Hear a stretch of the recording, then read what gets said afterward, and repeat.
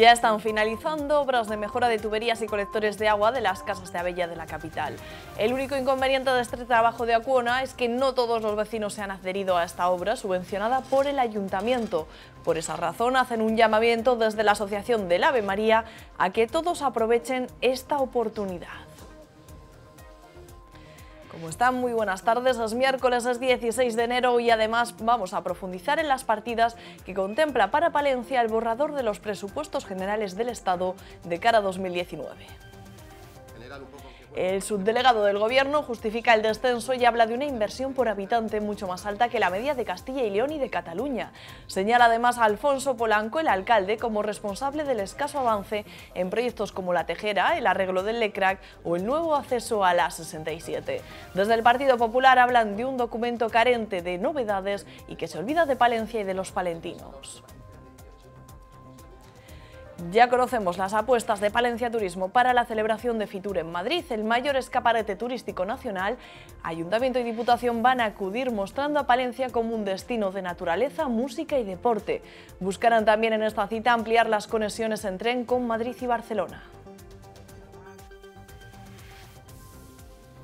Castilla y León será la primera comunidad en contar con una ley de conciliación. A expensas de la aprobación, hoy en la Delegación Territorial Palentina han hecho balance de las ayudas concedidas el pasado año en esta materia. Más de 1.400 personas se han beneficiado. Y en el capítulo deportivo hablaremos de Julio César, el nuevo entrenador del Palencia Cristo Atlético que fue presentado en la jornada de ayer se ha marcado como un desafío, como un reto esta andadura en el conjunto morado. No quiere hablar de otra cosa que no sea playoff y luego ascenso. Conoceremos a Julio César y también a Puskas, que cuarto de siglo después regresa a su tierra y ha sido un encargado de traer al brasileño.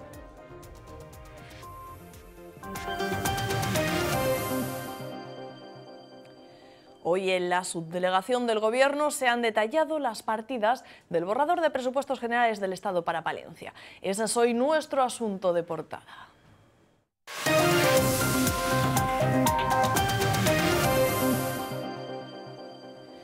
Ayer ya les adelantábamos las cifras. En el documento y para Palencia figura una cifra de inversión de 74,9 millones de euros, casi un 7% menos que los elaborados por el anterior gobierno, el presidido por Mariano Rajoy. De esta cantidad, 41 millones de euros van destinados a la alta velocidad. Hoy en la subdelegación han justificado estas cifras. Pese al incremento a nivel global, Palencia se lleva 461 euros por persona, una cantidad por encima de la media de Castilla y León y por encima de otras comunidades como Cataluña. Más allá de las cifras, el subdelegado del Gobierno habla de unos presupuestos buenos para Palencia y muy sociables. Destaca cómo han visto la inversión por habitante y cómo esa cifra resta peso al descenso en la inversión total. Responsabiliza de forma indirecta al alcalde de Palencia, Alfonso Polanco, del escaso avance en obras de ciudad, responsabilidad del Estado, como el acceso a la 67, la Tejera o la mejora en el LECRAC. Cantidades simbólicas y tan solo una declaración firme de intenciones para el desarrollo de obras de ciudad destacadas, como el nuevo acceso a la 67 desde el polígono, la conversión de la tejera en un palacio de congresos o el arreglo del LECRAC. El subdelegado del Gobierno señala a Alfonso Polanco como responsable. Si solamente te fías de lo que te hayan dicho, sí, ya eh, hay un compromiso de tal, vamos a hacer esto, nos han dicho que sí. Y luego vas allí, cuando estás ya más metido en el tema, y dices, oye, ¿esto cómo estaba? Ah, no, es que no había Pese a todo, el subdelegado del Gobierno hace autocrítica. Aunque buenos y con un claro carácter social, los presupuestos generales del Estado en lo que afecta a Palencia podrían ser mejores. Hay proyectos que son irrenunciables. Creo que es muy importante la 73 para Palencia. Eh, la zona norte de la montaña palentina que tiene problemas, entonces eh, hay, hay, una localidad que es Aguilar de Campo, que en este momento, digamos, tiene una buena coyuntura y, y, tiene visos de que, este, que pueda continuar. Yo creo que mejorar las comunicaciones es muy importante. Ángel Domingo Miguel Gutiérrez reconoce el descenso en términos globales y lo justifica así. Eh, esa bajada de presupuestos, que es verdad, hay que tener, seamos sensatos un poquito, en, en, en Palencia concretamente se ha metido muchísimo dinero en, en el AVE, eh, la provincia que más en este momento va, a tener inversión en Castilla y León es Zamora, pero porque tiene todo el AVE hacia, Galicia. Palencia se le pasó eso. Cuando empiecen las inversiones, digamos, fuertes uh, con el, el, alta velocidad a, a Cantabria, veremos cómo aumenta el presupuesto. Espera que haya un avance significativo en el proyecto de dotar de un tercer carril a la 62 y en el arreglo del firme de la A67. Y las primeras reacciones, y para nada positivas, nos llegan desde el Partido Popular. Estos presupuestos, dicen, son decepcionantes. Reflejo de un pago político para Cataluña, carecen de proyectos innovadores para estas tierras y no aportan nada ni a la capital ni a la provincia. Los populares lamentan el descenso en las inversiones y la subida de los impuestos. Tampoco incluye, sorprendentemente, ninguna de las enmiendas que hace menos de un año el Grupo Socialista de Palencia o los socialistas de Palencia reclamaban en los, en los presupuestos del año 2018 como proyectos irrenunciables para la provincia. Bueno, pues ninguna de esas enmiendas aparecen este año presupuestadas en un presupuesto del Gobierno eh, socialista. Al Ayuntamiento de Palencia y a la ciudad de Palencia, respecto a los, eh, respecto a los proyectos que tenía, son los mismos, porque es origen eh, en la inclusión de unos presupuestos del Partido Popular que sería muy feo que después de estar en los presupuestos lo quitasen. Por lo tanto, lo que tenemos es lo que teníamos. No hay ningún, no hay ningún proyecto a mayores y, como muy bien ha dicho en este caso la presidenta de la Diputación, por supuesto mucho más lento. Más reacciones. También nos eh, llega la opinión desde Ciudadanos que lamenta palabras textuales que los presupuestos fake de Sánchez se olviden de Palencia. Dicen que las únicas inversiones de envergadura son el firme de la 67 y la alta velocidad a Cantabria. Aseguran que hay mucha desigualdad y que de nuevo es Cataluña por intereses de gobierno la más beneficiada en detrimento de territorios como el nuestro. Y novedades relacionadas con las líneas de comunicación de Palencia, tanto por carretera como por tren, acaparan hoy nuestro capítulo de breves. Comenzamos en la 67.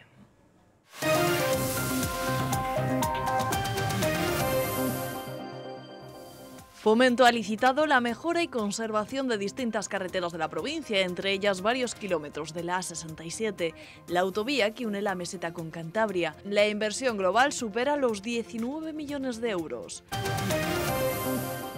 La misma cartera que ha mejorado las condiciones de los cinco trabajadores que controlan los túneles de Nogales en la A67. Desde su apertura en 2008 han realizado su vigilancia in situ. Ahora estos empleados podrán realizar telegestión desde el Centro de Control de Santillana de Campos. Ciudadanos ha exigido en el Ayuntamiento de Venta de Baños que pida a Nadif que se instalen los paneles acústicos que prometieron para la línea de la B a su paso por la localidad. Recuerda la formación naranja que Adif tiene una deuda histórica con el municipio.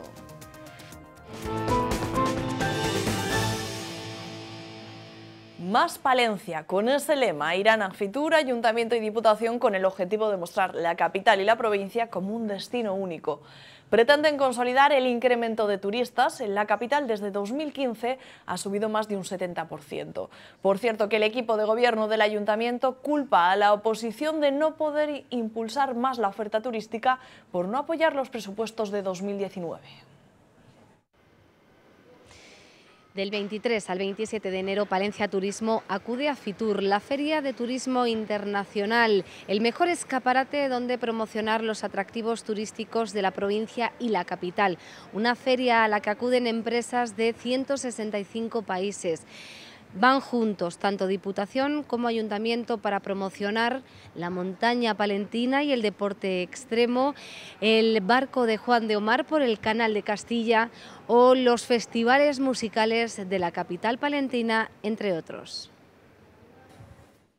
Palencia Turismo acude a Fitur con la idea de consolidar el número de visitas tanto en la capital como en la provincia. De nuevo, la Diputación y el Ayuntamiento van juntos al mayor escaparate de turismo de España. La provincia sacará pecho de la montaña palentina como un entorno natural y un espacio para el deporte extremo. El viaje por el Canal de Castilla en el tramo del Camino de Santiago en el Juan de Omar y el Geoparque de las Loras también estarán en Fitur. Además del Juan de Omar, pues otro elemento diferenciador que se puede practicar en las mejores instalaciones, que es el deporte extremo. Montaña Palentina, como ese espacio privilegiado y único, Hispania Jarenduro va a centrar la presentación de la institución provincial en el acto central de promoción de Palencia en Fitur. La presidenta de la Diputación aprovechará también para reunirse con el embajador de Argentina para divulgar la figura del general San Martín y con los representantes de paradores para buscar las vías de mejora del parador de Cervera. Por su parte, el Ayuntamiento potenciará las citas culturales y musicales, como Palencia Sonora, el Festival de Jazz o Palencia en Negro. El objetivo de Polanco es seguir mejorando la imagen de la ciudad. Vamos a acudir a Fitur con la intención de consolidar la recuperación tanto a nivel de viajeros como de imagen a la ciudad. Es un poco el objetivo que planteamos. Asimismo, el Ayuntamiento renovará el convenio con Renfe para potenciar la conexión de la ciudad a través del AVE con Madrid. En este sentido, pedirán más líneas con la capital de España y Barcelona. Y los vecinos de las casas de Abella en la capital están a punto de acabar con su mayor quebradero de cabeza. Estos días la empresa Acuona está instalando los colectores de agua fuera de sus viviendas. Pero no todos los vecinos se han sumado a este proyecto subvencionado por el ayuntamiento. Desde la Asociación de Vecinos del barrio del Ave María les animan a cambiar el colector y las tuberías del agua potable. Acuona ya está trabajando en muchas de las casas de Abella. Se encargan de sacar el colector de aguas residuales a la calle. Antes se encontraba en el interior de las viviendas y comunicaba unas casas con otras. Lo que se trata es de que cada casa tenga su colector a la puerta de la calle para poder enganchar para desocuparlo por la puerta. Pero el problema iba más allá. Bajo las viviendas hay instaladas tuberías de amianto por las que circula el agua potable. Con más de 75 años de antigüedad se encuentran en mal estado, una circunstancia que está provocando humedades y supone un riesgo para la salud. Sabía que había una fuga, no sabía dónde porque yo oía el ruido de la fuga, pero no sabíamos dónde estaba. Y dio la casualidad que tuvimos que hacer obra quitamos la bañera y había un metro de agua debajo de esa bañera. Fíjese los, los cimientos de la casa pues todo eso lo va comiendo. Tras la reivindicación de los vecinos, el ayuntamiento subvenciona el 65% de la obra. Sin embargo, hay propietarios que no lo han solicitado. Que por favor que los vecinos se mentalicen de que es una obra que hay que hacerla y, y tienen que presentar los papeles al ayuntamiento y pagar el permiso de obras que una vez que tengan el permiso de obra pagado, Acona automáticamente ya le manda la notificación y abre puerta por puerta. Quien ya ha hecho la obra está encantado. Y yo les aconsejo y les animo a todos los vecinos que en principio por salubridad cambien el agua y le metan ya el agua.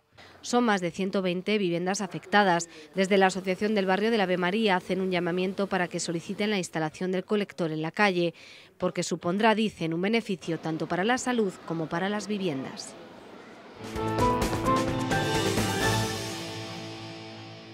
46 centros escolares de la provincia y más de 1.400 usuarios se han beneficiado de los distintos programas que la Junta de Castilla y León pone en marcha para, para posibilitar la conciliación de la vida laboral y familiar. Hoy han hecho balance repasando todos ellos y con la mirada puesta en la que será la primera ley autonómica sobre la materia. Con la intención de facilitar la conciliación de la vida familiar y laboral, la Junta ha desplegado distintos programas. Así, durante el pasado año, en 2018, se han puesto en marcha ayudas a particulares que han reducido su jornada para cuidar de menores o de personas dependientes. Ayudas que también han llegado a los ayuntamientos con centros infantiles no incluidos en el programa Crecemos. Merced a un convenio que hubo entre la Federación Regional de Municipios y Provincias, presidida por el alcalde de, la ciudad de Palencia y la Consejería de Familia, se firmó un acuerdo mediante el cual se ha resuelto una convocatoria que eh, ha correspondido que a las nueve escuelas eh, infantiles gestionadas por ayuntamientos en la provincia de Palencia le han correspondido 223.000 euros. También se ha subvencionado los que están incluidos en el Crecemos, ese programa que financia la Junta y pone en marcha la Diputación. Casi 170.000 euros que dentro del programa Marco eh, eh, eh, damos a la Diputación Provincial. No se olvidan tampoco de los que necesitan dejar a los pequeños en clase durante las vacaciones y los que tienen que hacerlo antes de la entrada habitual dentro del programa Madrugadores. Ahora, con que una familia diga que necesita ese servicio, no, simplemente con una declaración responsable es suficiente, no tiene que eh, liarse con papeleos y demás. Ahora la Administración regional cuenta con un proyecto de ley de lo que será la primera normativa autonómica en materia de conciliación.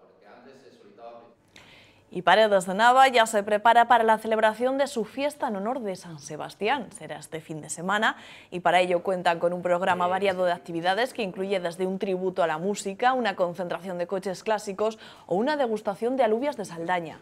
Pero ahí no se para, habrá más el siguiente fin de semana. El del 26 y 27 ponen en marcha dos musicales, La Bella y la Bestia y un tributo a los miserables.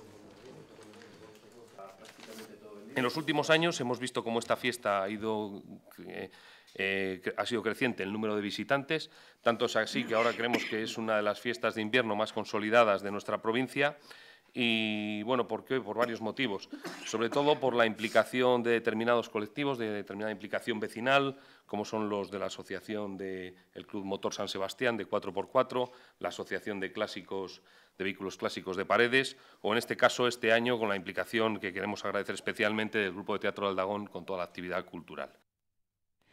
Así damos paso a la actualidad deportiva.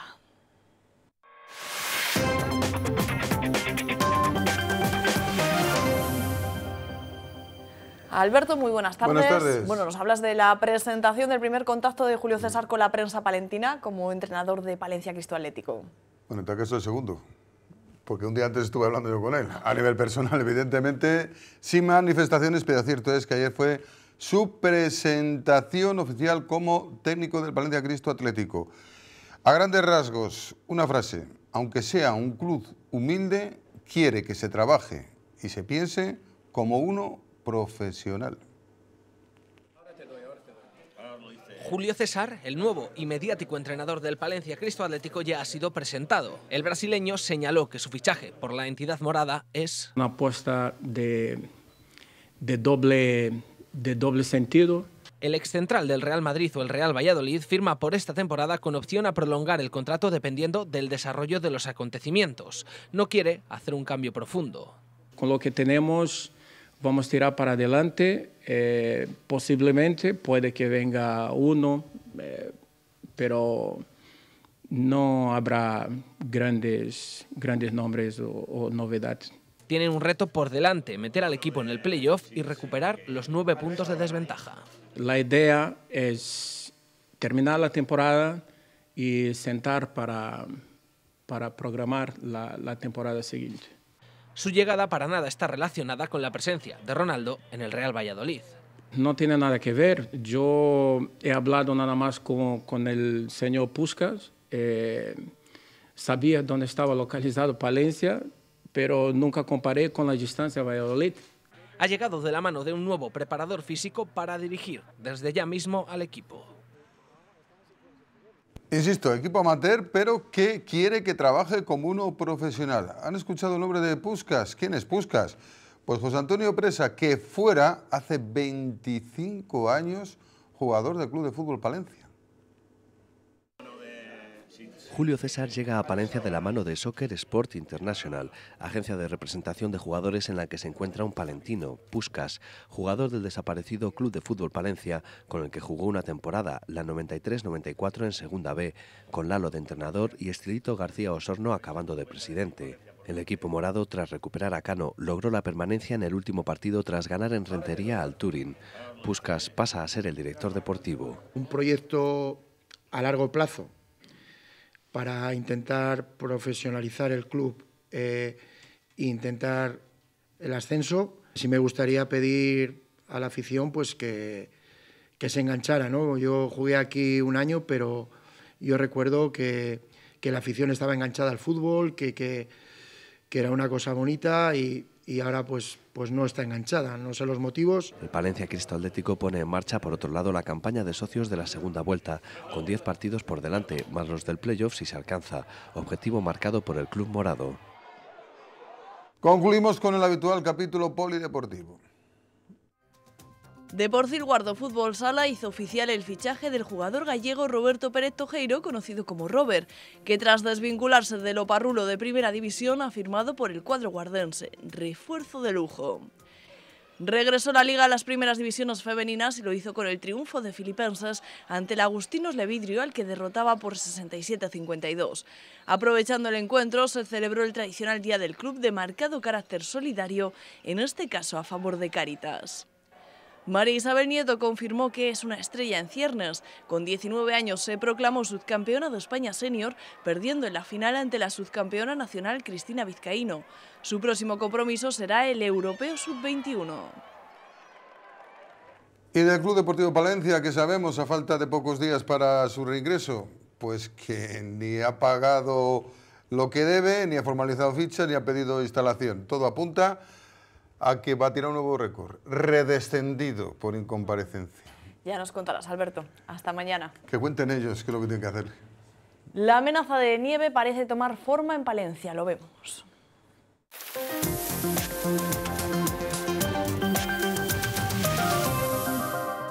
Continúa el frío propio de estas fechas invernales en Palencia.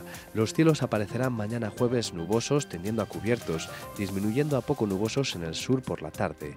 Habrá precipitaciones débiles, sobre todo por la mañana, y estén atentos porque la cota de nieve se situará en torno a los 800 metros.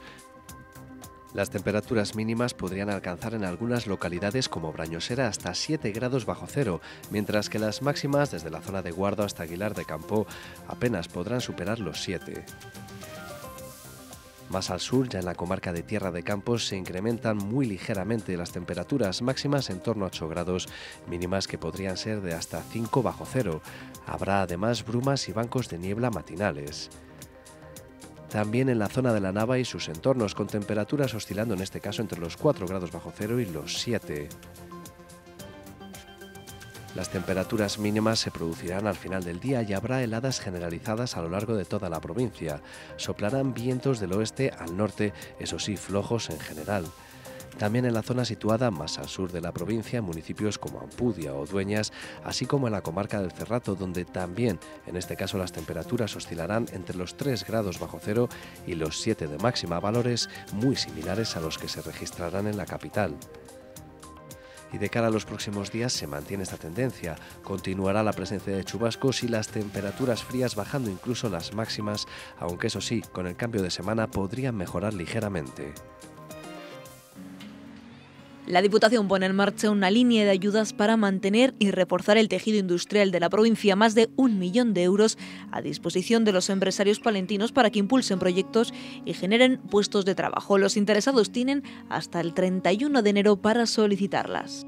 El 2019 puede ser la oportunidad perfecta para visitar el castillo de los Sarmiento en Fuentes de Valdepero, un viaje en el tiempo, la mejor manera de trasladarnos al medievo y recrear batallas e historias palaciegas. La fortaleza está a escasos kilómetros de la capital palentina. Es una de las mayores joyas de la provincia, está considerada como uno de los 12 grandes descubrimientos de la arqueología, equiparándole incluso a la tumba de Tutankamón. Cualquier momento, también en invierno, es perfecto para visitar la villa romana de la Olmeda y descubrir cómo era el día a día en el Bajo Imperio. Pues así les decimos hasta luego, más información a partir de las 9. Que tengan muy buena tarde.